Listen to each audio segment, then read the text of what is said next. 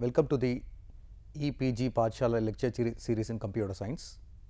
In this series of lectures, we have been looking at database management system and for today's lecture, I will be talking about database system architecture.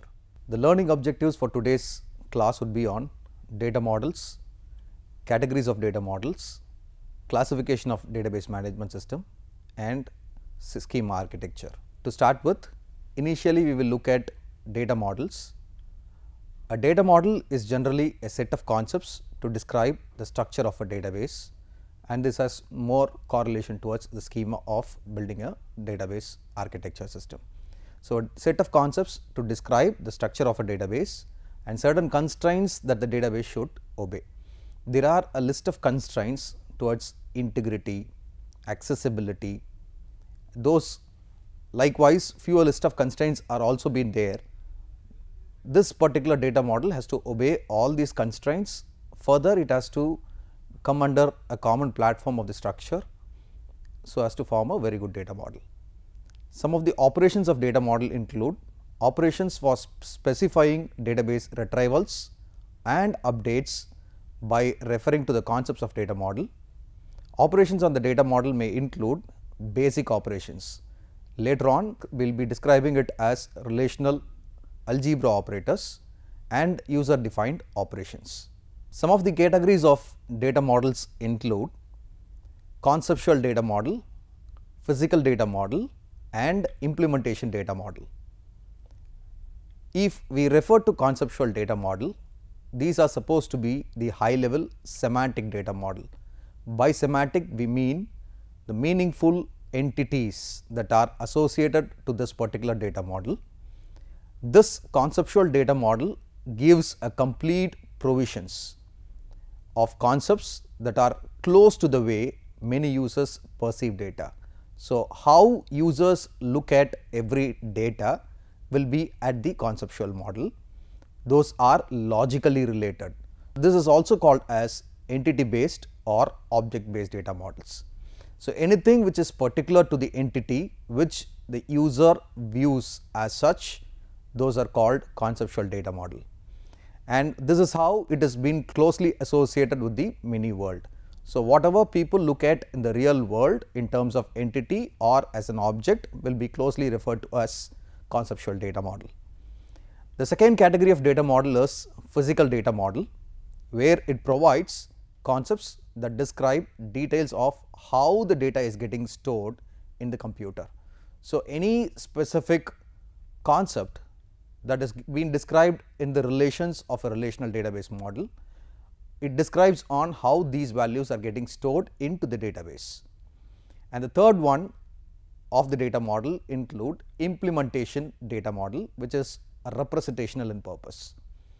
So, it provides the fall between the above two that is the physical and the conceptual data models balancing the user views with some computer storage details how these are basically getting stored into the computer will also be taken care and how the users will generally view it will be thought of. So, to divide the data models into three different categories, one would be called as object based data model, the other one would be on record based data model and the third one is a physical data model. These object based and record based are towards implementation and conceptual model whereas the physical model stores the values into the database. Object based data models include representations like entity relationship, meanings that is the semantics of the information, functional and object orientation. Whereas record based data model include relational data model, network data model and hierarchical data model. To look at the history of data models, initially we will see what this relational model would mean this relational model is proposed in 1970 by E. F. Codd. It was part of the development of IBM labs. This was made commercial in the year 81 82. Although it was initially perceived in the year 1970s, it took 10 years for it to completely develop and make it as a commercial version. Several commercial products like DB2, Oracle, SQL Server, Sybase Informix were supplementary to this. Coming to network model, this is the first one to be implemented by Honeywell during the year 1964-65 and it is called Integrated Development System.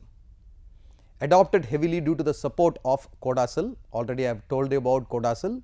This CODASYL is a abbreviation towards Conference on Data System Language and this was part of the development by Database Task Group DBTG and this report was prepared and produced during 1971 and this was later implemented in very large variety of systems like IDMS, Image, VAX DBMS, etc.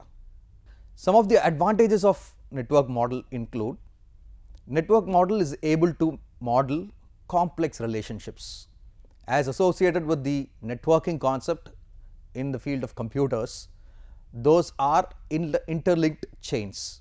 Likewise, here every entity is related to another entity, every object is possible to correlate with the other objects.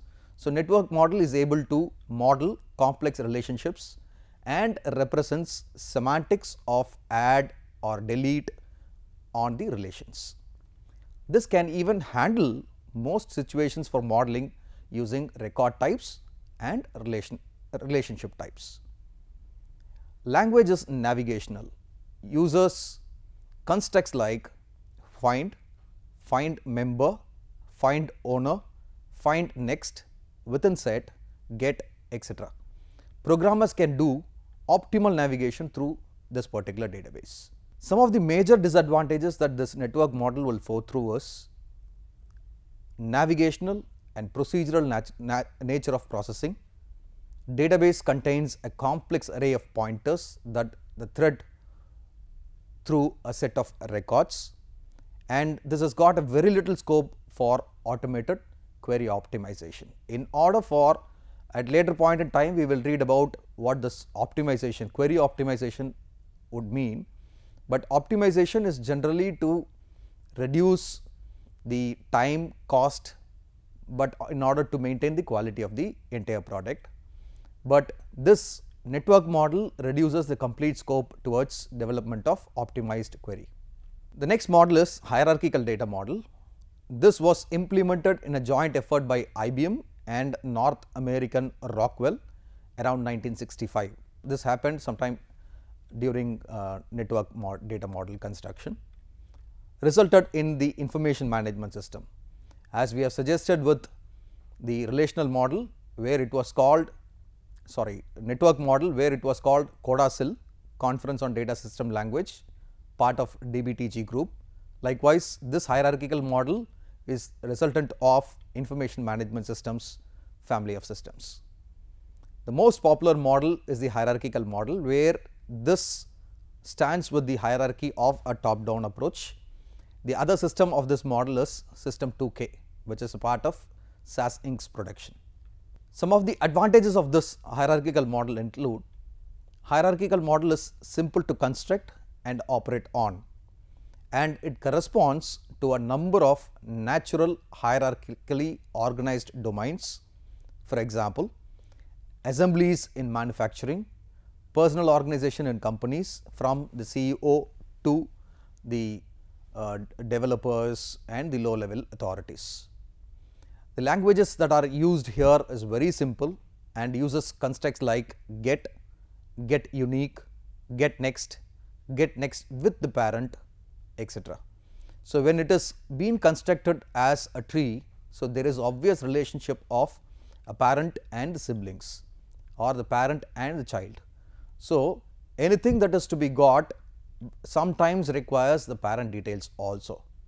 Some of the major disadvantages particular to this hierarchical model includes navigational and procedural nature of processing, database and limited query optimization. History of data models. To continue with the same history, we have one more data model which is called object relational data model. And this is more trending for nowadays because we have started slowly shifting down from hierarchical network and other models towards object orientation concepts. So, we are more towards object oriented model nowadays. So, started with Informix Universal Server and exemplified in the latest versions of Oracle 10i and further on DB2 and SQL Server. So, now we will introduce some of the key words that are required to basically understand the entire system of database. Initially, we will define what a database schema would mean. Database schema is nothing but the description of a database that includes descriptions of a database structure and the constraints that should hold on the database. As we have said schema is nothing but giving a clear representation of the entire structure of the database. So, this structure gives you a clear indication on the three tiers which we were talking about during our data model discussion starting from the conceptual model, physical model and the implementation model. Likewise, all these schema would give you a clear representation of how a value or an entity would appear when it is at the external level, how it would appear at the conceptual level and at the physical level. So, to represent this we will draw a schema diagram.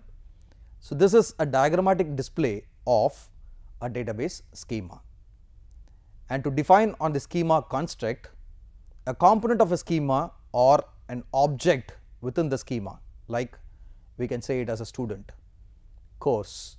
So, these all become a schema construct. About to define the schema construct this student will include in turn include student ID, student first name, student last name, date of birth and other details.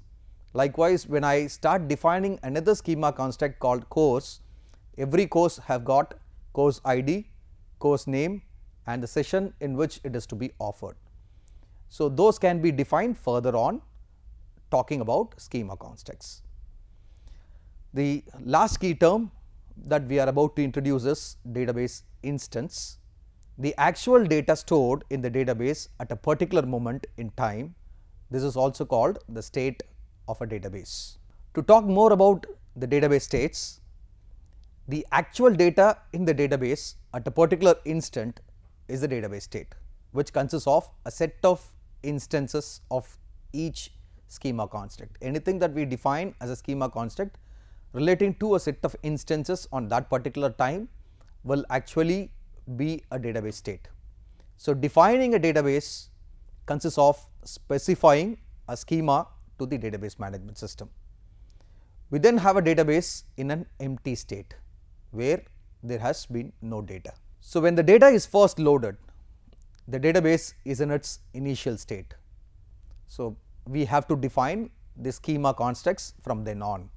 Subsequently, for every update creates another state.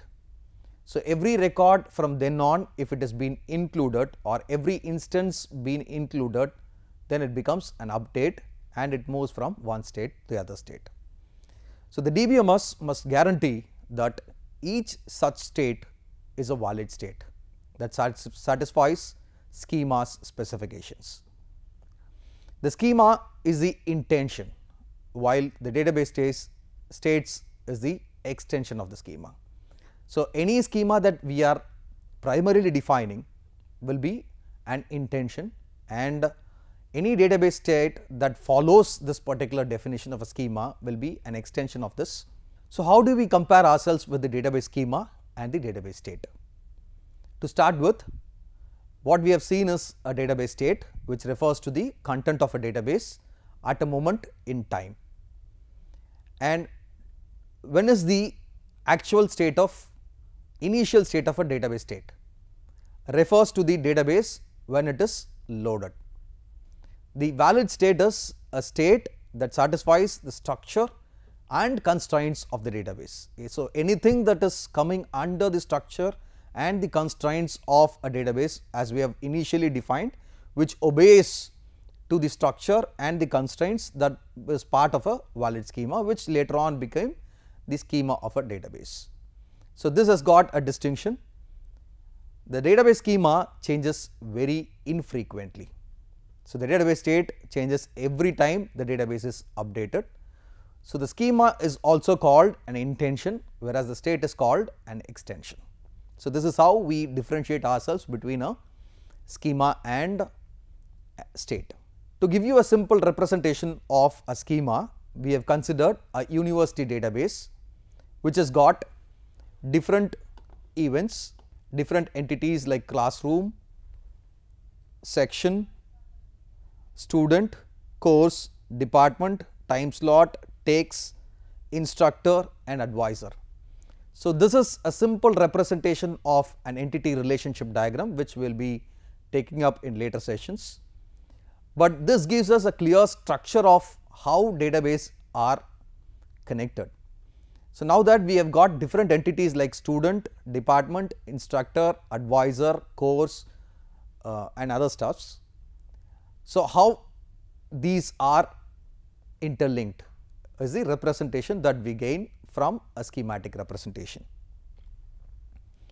So, to look at the basic functions of database management system for the discussions that we had so long, the database management system is primarily focused on storage, retrieval and update and user accessible catalog.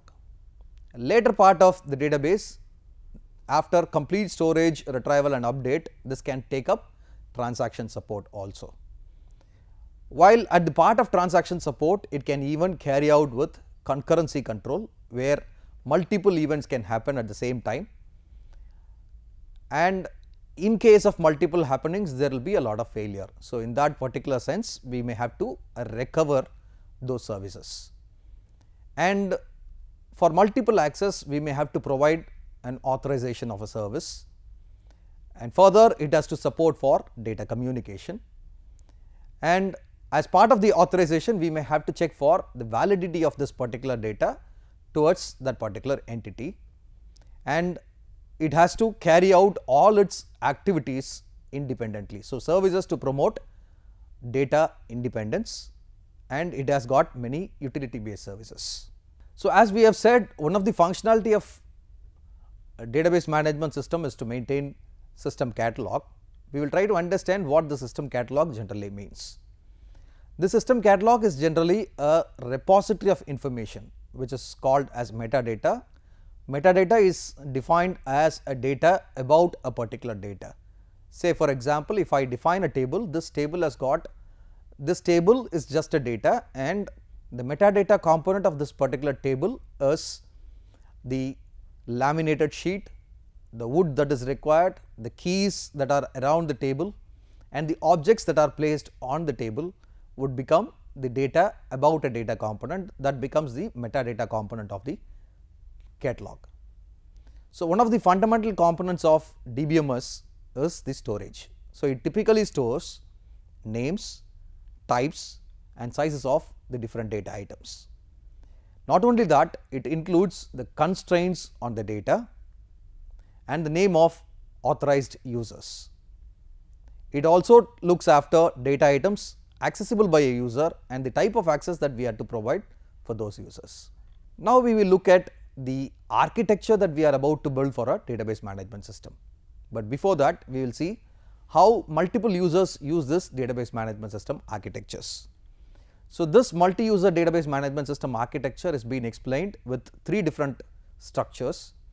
One is on a teleprocessing system, the second one is on a file server system and the last one is about a client server methodology. If you look at a teleprocessing system, this is how it will be represented where I have got a mainframe computer and all the other terminals are tried connecting to this mainframe computer. So, this becomes a traditional architecture where multiple machines are getting connected to itself with a mainframe computer. So, there is a single mainframe with a number of terminals attached to it and this trend is now towards downsizing where it cannot happen.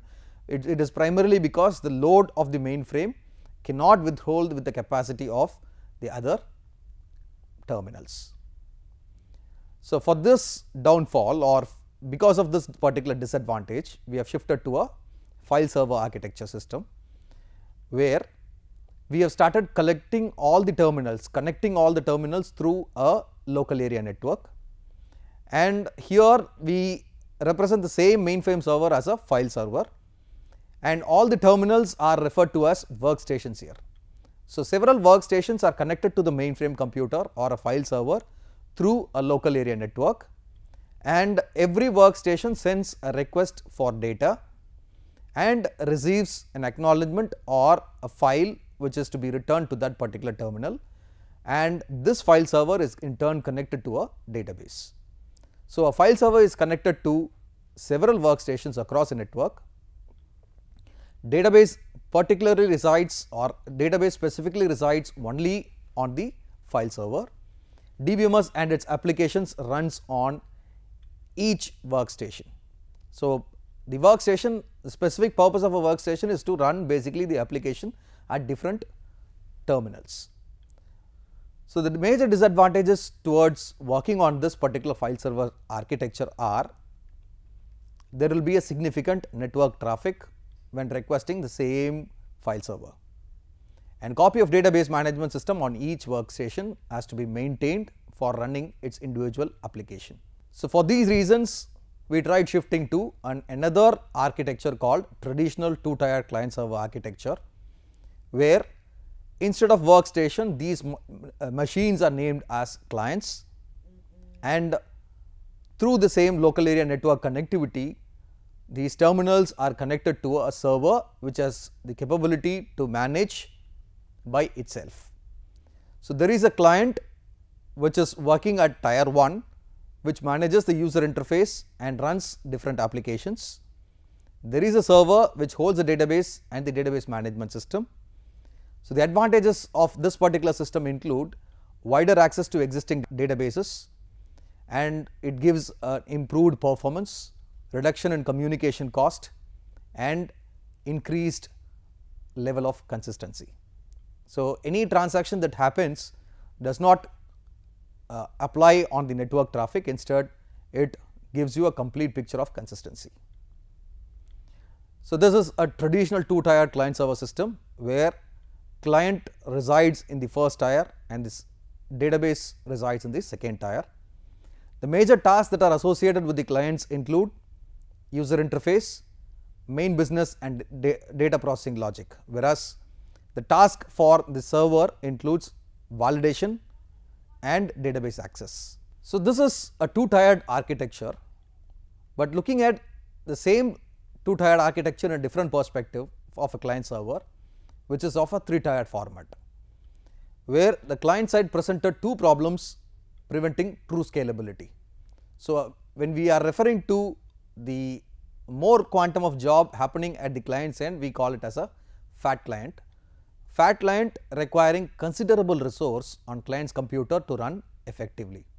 So, significant client side administration overhead takes place. So, by 1995 three layers were proposed each potentially running on different platforms. So, major advantage working towards this kind of a three tiered client server architecture includes here we have used a concept of thin client instead of a fat client where the responsibility of the client is to basically run the application not to entirely store on the database. So, thin client requires less expensive hardware, application maintenance is centralized, easier to modify or replace one tire without affecting others. So, this has a separating business logic from database functions and this makes it easier to implement load balancing concept maps quite naturally to the web environment. So, this is the representation of a three tiered architecture where the first tier is to represent the client, the second tier to represent the application server and the third tier to represent the database server. So, the major tasks of the client includes user interface, application takes up the job of a business logic and data processing logic and database server takes up the job of data validation and database access. So, now you could differentiate how we can differentiate between a two tiered client server system and a three tiered client server system. Now, the responsibility of the client is pretty less when compared to a two tiered architecture of a client server system. Now that we have introduced another server which is called an application server which is purely to consider on the aspects of two logics business logic and data processing logic. So, as far as this three tiered client server system is concerned, program that controls data transfer between clients and server in order to provide a consistent environment particularly on a online transaction processing system is referred to a three tiered client server system. So, this three tiered client server system with the online transaction processing will work like this. There will be several service calls from the individual client side which acts as tier 1 and this service calls in turn will be mapped to a TPM transaction processing monitor and it has been split as services which are to be requested from the database servers. So, this application server takes in the responsibility of converting the actual request from the client, taking up this service calls to the transaction processing monitor, splits that into different service calls and loads it to the appropriate database servers.